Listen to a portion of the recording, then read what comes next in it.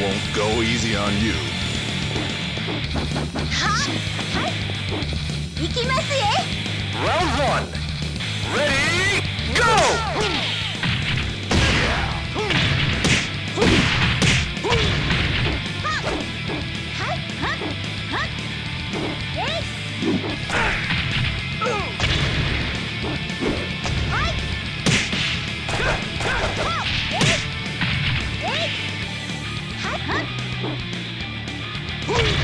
Thank you